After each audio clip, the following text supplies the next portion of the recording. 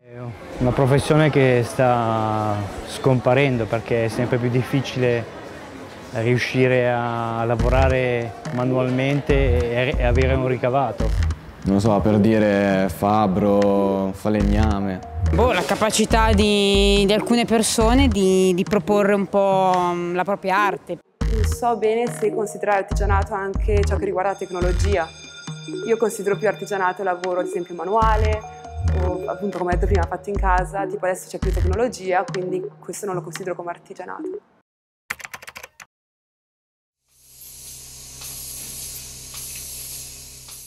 La nostra azienda produce apparecchiature radiologiche. È un'attività che ha una lunga storia perché è iniziata nel 1935. L'azienda produceva apparecchiature radiologiche per il settore umano.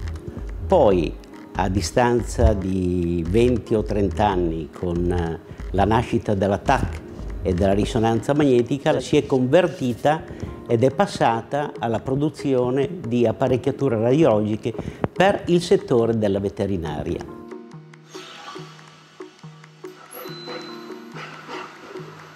Innovare vuol dire creare.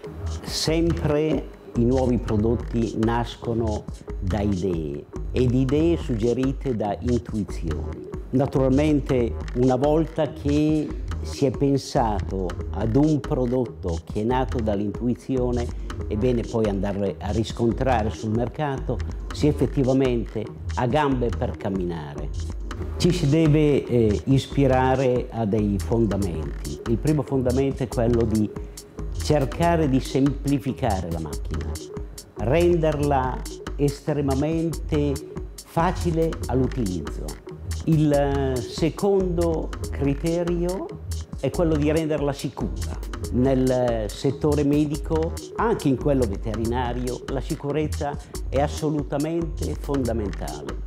Per ultimo, anche la questione prezzo è di estrema rilevanza. Quello di fare una macchina estremamente economica è di sicura grande eh, utilità e di impatto specialmente all'inizio quando si deve lanciare il prodotto.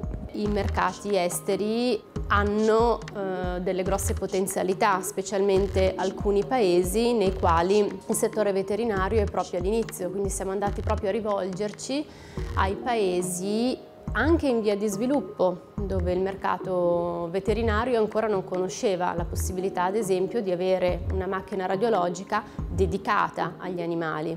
Quindi inizialmente utilizzavano macchine anche usate che arrivavano dagli ospedali, invece noi abbiamo un prodotto dedicato esclusivamente a questo settore, quindi con potenzialità, caratteristiche eh, che lo rendono assolutamente performante, con bassi consumi e con soprattutto minori costi.